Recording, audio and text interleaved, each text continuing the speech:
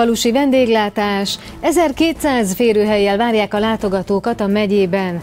Kárpátalján és Erdélyben több száz szakember dolgozik az ágazatban, térségünkben senkinek nincs ilyen végzettsége. Nyári betörések. A bűnügyi statisztika is azt mutatja, jócskán megnőnek a besúranások, a betörések a nyári időszakban, ezért fontos, hogy otthonuk elhagyottságát ne vegyék észre dolgozó diákok a szabolcs már Bereg megyei iskolaszövetkezeti irodákban elsősorban gyári betanított munkára, árufeltöltésre, telefonos értékesítésre keresnek tanulókat.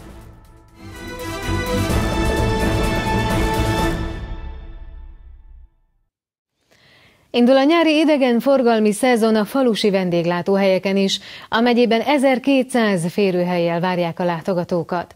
A Kölcsei Televízió iradóját látják. Köszöntöm Önöket! Hanusz Árpád, a Falusi Turizmus megyei szervezetének elnöke kérdésünkre azt mondta, tematizálni kell a vendéglátással foglalkozó vállalkozásokat, hogy a turisták pontosan tudják, hol, mivel várják őket. A képzést is kötelezővé lehetne tenni Magyarországon, mert míg Kárpátalján és Erdélyben több száz szakember dolgozik, addig a megyében senkinek nincs ilyen végzettsége. Gyönyörűen felújított kerekablakos hajó horkonyoz Tiszabercelnél. A kérész kikötőben évek óta lehet kempingezni és különleges ételeket enni.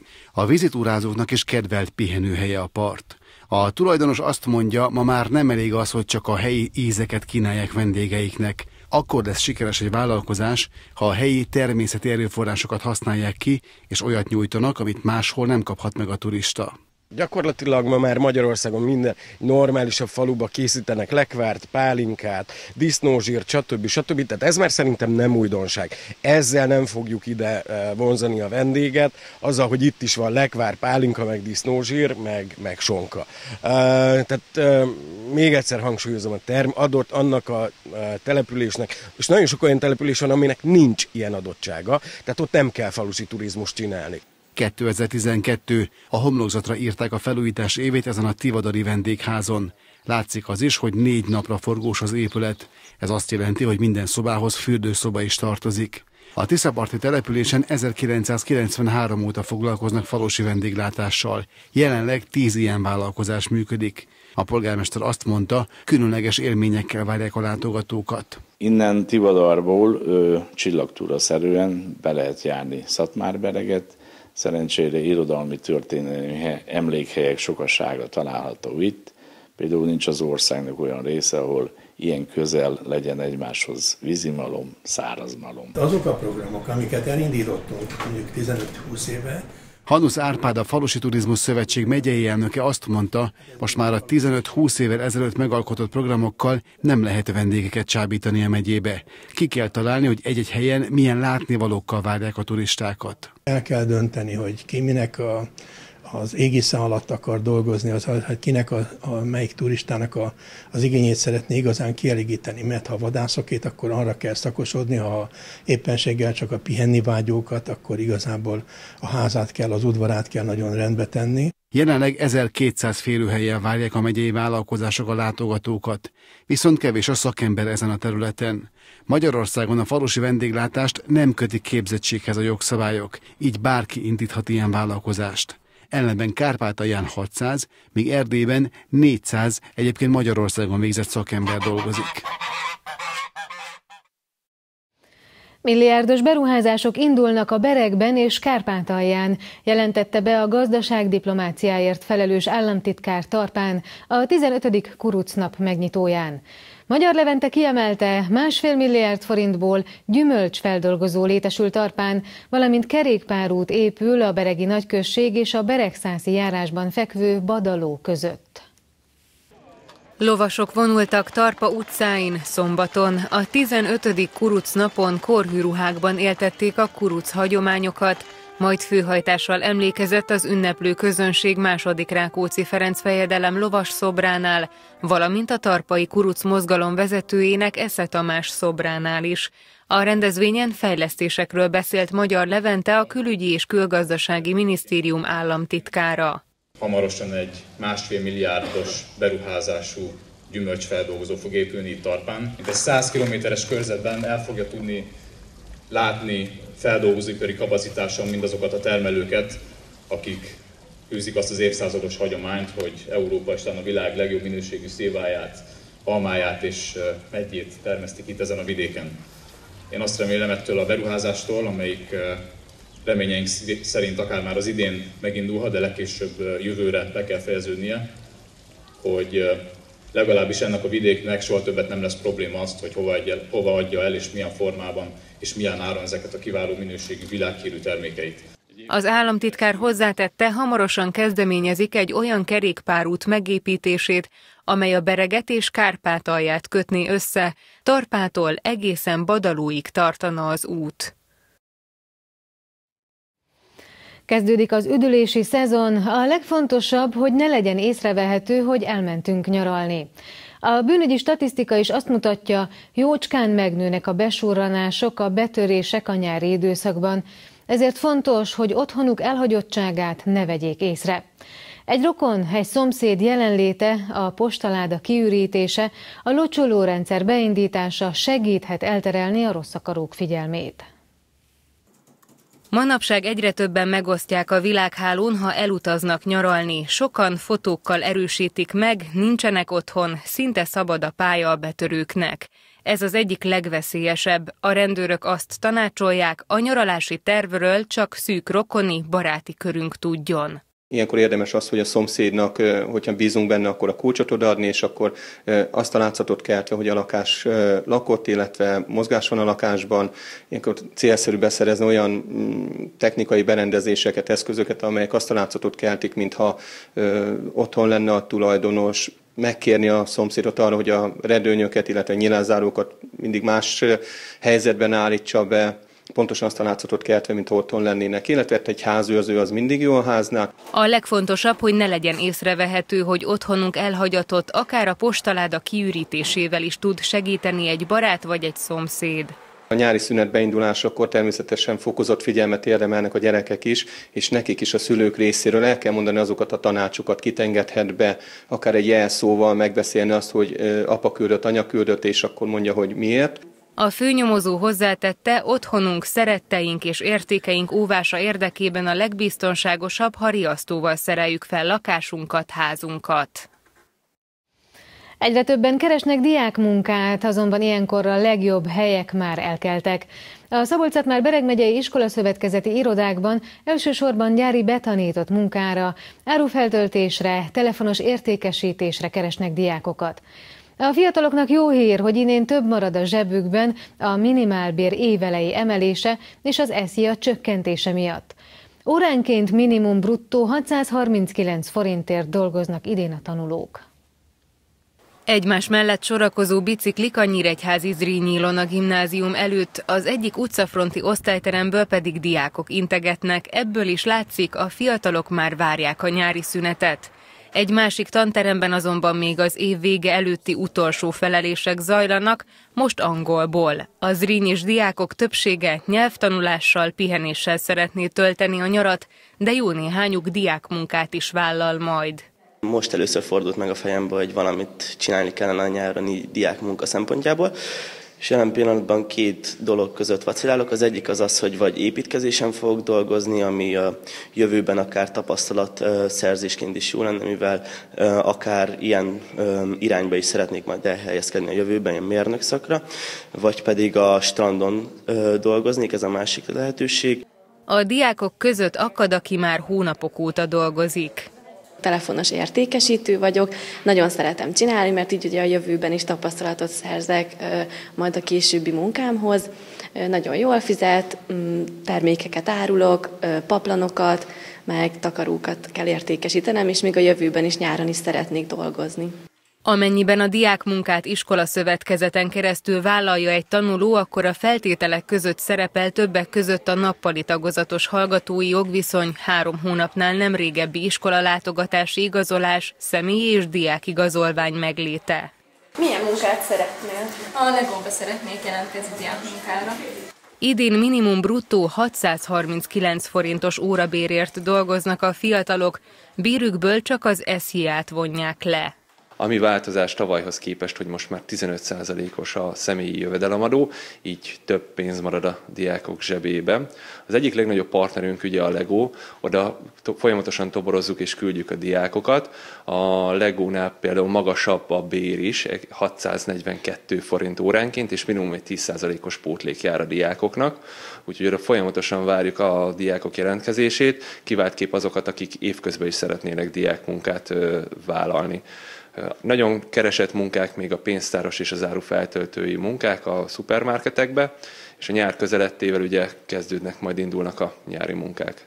A szeszélyes időjárás, a tavaszi fagyok kihatással vannak a mezőgazdaságra, és így a diákok esetleges zöldség és gyümölcsszedési munkájára is. Akár a turistáknak is vonzó lehet a Tiszai Komp, arról, hogy hol lesz újabb átkelő a folyón hamarosan. Előtte nézzük a híradó további témáit. 18 nyíregyházi tanár kapott kitüntetést a város pedagógus napi ünnepségén. Hárman Margócsi Emil, 15-en pedig Vietóris díjat vehettek át. Két aranyat és egy ezüstérmet nyert Szokol Diana a londoni úszó Masters Európa bajnokságon. A nyíregyházi versenyző a 400 és 800 méteres gyorsúszásban végzett az élen, míg 200 méter gyorsan a második helyet szerezte meg.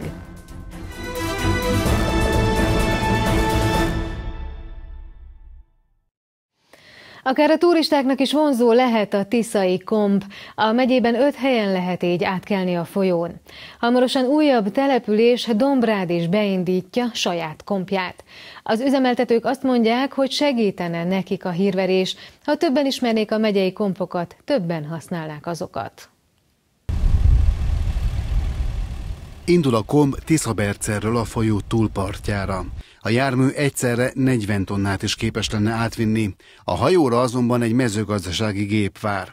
A Tiszabercelieknek vannak földterületeik a túloldalon, ők használják elsősorban a kompot. Az üzemeltető azt mondja, a környéken kevés az aszfaltos út, ezért ritkán jön személyautó erre. Az út rendben lenne, akkor jobban több, többen lennének azért. Jobban járnak erre, közelebb lenne Nyíregyház irányba, patok, közelebb lenne, csak lenne műút azért idegeneskednek ettől a földútól. Esik egy eső, akkor már agyok, akkor beragadnak. Tereprendezés Dombrádnál a Tiszaparton. Azért dolgoznak itt a közmunkások, mert hamarosan kompjárat indul a településen. Elsősorban turisztikai okai vannak annak, hogy a dombrádiak átkerült létesítenek a Tiszán. Sikerült az, hogy, hogy egy hónap múlva kompunk lesz és egy 20 tonnás motoros komp, amivel nem csak személyi autók, hanem teherautók is átmehetnek a Tiszán, és és hogy így akkor nyüzsgőbb lesz az élet a szomszédos kisvárossal összekötve. Térképen mutatjuk, hogy hol van jelenleg Kompa megyében. Tiszaadonyban, Lónyán, Tiszaberceren, Tímárban és Balsán lehet így átkelni a folyón. Időjárástól függően általában márciustól novemberig közlekednek a megyei kompok. 18 nyíregyházi tanár kapott kitüntetést a város pedagógus napi ünnepségén. Hárman Margócsi Emil, 15-en pedig Vietóris díjat vehettek át. Az ünnepségen a Vikán Sándor Zeneiskola egyik kiemelt tehetsége Kis Benedek Máté is bemutatkozott. Az intézmény növendéke jelenleg egy országos tehetségkutató döntőjében is szerepel. Idén is kiosztotta a városvezetés a pedagógus kitüntetéseket. Az ünnepségen Kovács Ferenc polgármester kiemelte, a tanár szakma nemes feladat, a jövő generációját nevelni mindig fontos volt és lesz is, ezt pedig el kell ismerni. Hárman kaptak Margócsi Emil díjat, amelyet Nyíregyháza kiváló pedagógusainak adtak át, többek között Baracska Antalt, a Nyíregyházi Szakképzési Centrum Bánki Donát Műszaki Középiskolája és kollégiumának szakmai igazgató helyettesét is díjazták. Ő az új típusú szakképzés bevezetésének volt aktív segítője. 40 éves munkáját elismerve Baskiné Majoros Éva óvodapedagógust is kitüntették. Egyáltalán nem számítottam rá, teljesen váratlanul ért, és nagyon meglepett, és nagyon-nagyon köszönöm, hogy észrevették az én vezetőim, hogy, hogy az én munkásságomat, a gyerek szeretetemet, azt, hogy, hogy tudtam a gyerekekhez közeledni. további 15 tanár oktató nevelő munkáért járó Vieturis József díjat kapott. Kitüntetés több intézmény pedagógusa vehetett át, többek között az Arany János Gimnázium általános iskola és kollégiumból, az Incédi György középiskolából és a Jókai Mor református általános iskolából is. A nyíregyházi pedagógusok számos tehetséget gondoznak nap mint nap, Kis Benedek Máté a Vikár Sándor zeneiskola növendéke. A zenében még a óvodás koromban iratott be apukám, ő iratott be fúria szakra, és ő úgy gondolta, hogy innen majd tovább tudok lépni egy másik hangszerre, de én maradtam ennél a hangszerre, mert megszerettem a fúria.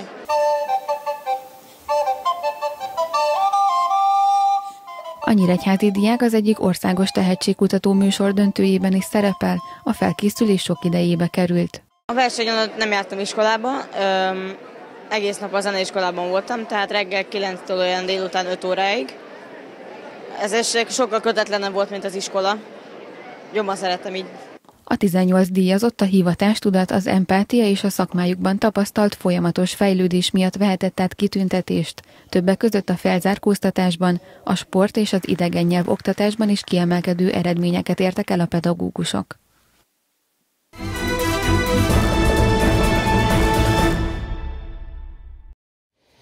Két aranyat és egy ezüstérmet nyert Szokol Diana a londoni úszó Masters Európa bajnokságon. A nyíregyházi versenyző a 400 és 800 méteres gyorsúszásban végzett az élen, míg 200 méter gyorson a második helyet szerezte meg. A 33. úszóebéd követően az elmúlt héten rendezték meg Londonban a Masters Európa bajnokságot. A közel tízezer résztvevő között ott volt a tavalyi kazanyi világbajnokságon három ezüstérmet szerző Szokol Dianna is, aki korosztályváltást követően a 45-49 évesek mezőnyében állt rajtkőre. A nyíregyházi úszónő a 800 és a 400 méteres gyorsúszásban az aranyat célozta meg. Előbbi távon 9 perc 45 másodperces idővel, utóbbin pedig 4.46-os idővel győzött is, igaz a második arany izgalmas körülmények között született meg. Annyit kell tudni, hogy nagyon nagy mezőny volt, és egy pályán ketten úsztunk. És a, úgy indultak a versenyek, hogy mindkét oldalról indultak a versenyzők, és az egyik lány kihozták győztesnek, és hát nem tudtuk, hogy, hogy most akkor mi van. Hát akkor már utána második, azt hittem, hogy második vagyok, aztán kiderült, hogy tulajdonképpen ő csak 350 métert úszott, és úgy csapott célba, és persze 350 méterre megvert, de aztán végül is a részidőket megnéztük, és akkor utána óvtunk, és akkor így, így tulajdonképpen másnapra derült ki, mert a 400 gyorsat évfélkor úsztuk, tehát szombat évfélkor úsztuk, akkor már nem nagyon lehetett óvni, úgyhogy másnapra aztán kiderült, hogy, hogy mégiscsak én vagyok a bajnok. A korábban három Európa-bajnoki aranyjal rendelkező úszónő 11 év szünet után szerzett ismét kontinensbajnoki címet. A két elsőség mellett a 200 gyorsan elért második helyel is elégedett a Nyír Senior 97-ese versenyzője. A 200 méter második helynek nagyon örülök, mert 800 is este hétkor úsztam, az magyar idő szerint 8, hát évfére kerültünk ágyba, és reggel hatkor menni kellett már edzeni, mert nem engedtek be, tehát annyira nagy mezőny volt, hogy csak az adott számra engedtek be úszókat, és nem, tehát hiába volt akkreditációs kártyák, nem mehettünk be, csak, csak akkor, amikor meg volt beszélve. És úgy reggel hatkor el kellett menni edzeni, vagy bemelegíteni, dél, délbe úsztuk a 200-at, ott nem tudtam, hogy milyen, hogy lesz, hogy hanyadik leszek, első, második vagy harmadik, és aztán százon körbenéztem, láttam az első az elő van, még egy fejjel volt a második mellettem, úgyhogy azt kicsit megvertem, úgyhogy második lettem. Az úszónő még elindul néhány kisebb versenyen, majd egy pihenőt követően szeptemberben elkezdi a felkészülést a 2017-es budapesti Masters világbajnokságra.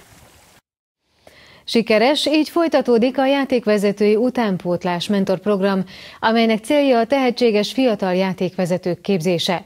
Többek között ez is elhangzott azon a szakmai napon, amelyet harmadik alkalommal tartott meg Nyíregyházán a Megyei Kézilabda Szövetség. A rendezvényhez kapcsolódóan a Bemiskolában lejátszották a Szabolcs kupa döntőit is. A megyei kézilabda szövetség két éve rendezett először szakmai napot, amelyel gyakorlatilag lezárták a szezont. A kezdeményezés sikeresnek bizonyult, így az elmúlt szombaton Nyíregyházán a Bemiskolában harmadik alkalommal találkoztak sportvezetők, edzők, játékvezetők. A szakmai napon két vonalon futottunk, elsősorban. A játékvezetők, a fiatal játékvezetők, akik a Jump programban részt vettek, nekik az úgymond megmutatása a világnak, bekapcsolása a Magyar Kézilabda Szövetség életébe, a felsővezetés is ismerje meg őket, hogy kik azok, akikre lehet építeni a következőnkben illetve a már meglévő érett játékvesztőknek a továbbképzése volt a második cél, és az előadók Herceg Béla, illetve dr. Sós Kálmán a Magyar Kézdobos Szövetségtől jöttek el, és ők is ezeket a területeket emelték ki, és próbáltak rávilágítani arra, hogy ahhoz, hogy egy játékvezető valóban a játék szerves része legyen, milyen emberi, illetve szakmai tulajdonságokkal kell, hogy felvérteződjön a, az évek alatt. A megyei szövetség sportdiplomáciai területen is erősödött, mivel alelnöke feladatot kapott a Magyar Kézilabda Szövetségben. Nagyon megtisztelő, hogy szabolcs Bereg megye képviselti magát. E, a Magyar Kézilabda Szövetség május 20-án megtartott éves közgyűlésén beválasztottak a MKS-nek a felügyelőbizottságába, és e, bízom benne, hogy e, sikerül majd olyan színvonalon, olyan szakmai, illetve emberi színvonalon képviselnem szabolcs Bereg megyét, illetve a kézlabda életet, hogy abban ne legyen semmilyen hiba. A szakmai naphoz kapcsolódóan a Benben megrendezték a Szabolcs kupa utánpótlás torna döntőit. A 13 éves lányoknál a Kisvárdai KC, a 14 éves fiúknál a Tiszavasvári Ese, a junior lányoknál szintén a Kisvárda, a junior fiúknál pedig a Nyíregyházi SNKFT nyerte a finálét. Híradónk végén nézzük a legfontosabb híreket, még egyszer néhány mondatban. Indul a nyári idegenforgalmi szezon a falusi vendéglátóhelyeken is. A megyében 1200 férőhelyjel várják a látogatókat. Hanusz Árpád, a Falusi Turizmus megyei szervezetének elnöke kérdésünkre azt mondta, a képzést is kötelezővé lehetne tenni Magyarországon, mert még Kárpátalján és Erdélyben több száz szakember dolgozik, addig a megyében senkinek nincs ilyen végzettsége. Kezdődik az üdülési szezon, a legfontosabb, hogy ne legyen észrevehető, hogy elmentünk nyaralni. A bűnügyi statisztika is azt mutatja, jócskán megnőnek a besúranások, a betörések a nyári időszakban, ezért fontos, hogy otthonuk elhagyottságát ne vegyék észre. Egy rokon, egy szomszéd jelenléte, a postaláda kiürítése segíthet elterelni a rossz akarók figyelmét. Egyre többen keresnek diákmunkát, azonban ilyenkor a legjobb helyek már elkeltek. A szabolcs már Bereg megyei iskolaszövetkezeti irodákban elsősorban gyári betanított munkára, árufeltöltésre, telefonos értékesítésre keresnek diákokat. A fiataloknak jó hír, hogy idén több marad a zsebükben a minimálbér évelei emelése és az eszia csökkentése miatt.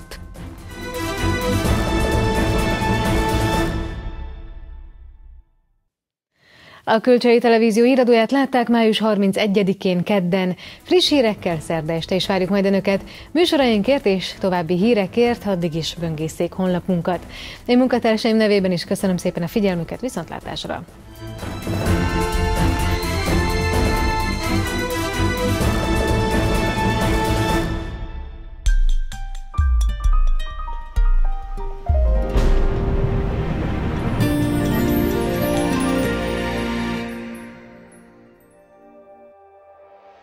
Holnap változékony időre számíthatunk záporokkal. Több középpontú ciklonrendszer alakítja holnaptól időjárásunkat, amint labilisabbá váló időjárási helyzetben napról napra több helyen pattannak ki záporok, zivatarok. Éjjel derült lesz az ég, csapadékra nem kell számítani, a délnyugati szél is mérséklődik. Reggelre általában 14 fokig csökken a hőmérséklet. Holnap eleinte gomoly felhős napos idő várható, majd délutántól erősen megnövekszik a felhőzet, szorványosan márható zápor, zivatar. A délnyugati szél megélénkül, helyenként megerősödik, zivatarok környezetében átmenetileg viharossá fokozódik. Délutára 25 fokig emelkedik a hőmérséklet. Holnaptól kettős fronthatás várható térségünkben, 11 és 15 óra között erős UVB sugárzás várható, ezért ebben az időszakban nem ajánlott tartósan a napon tartózkodni. A következő napokban változékony időben lesz részünk, a hosszabb, rövidebb napos periódusok mellett gyakran megnövekszik a gomoly felhőzet és záporokra, zivatarokra kell számítani. Az ivatarokat viharos széllökések is kísérhetik, a hőmérséklet nagyjából a sok évi átlag 23-25 fok körül valószínű, hétfőtől több lesz a napsütés és csökken a csapadék hajlam is.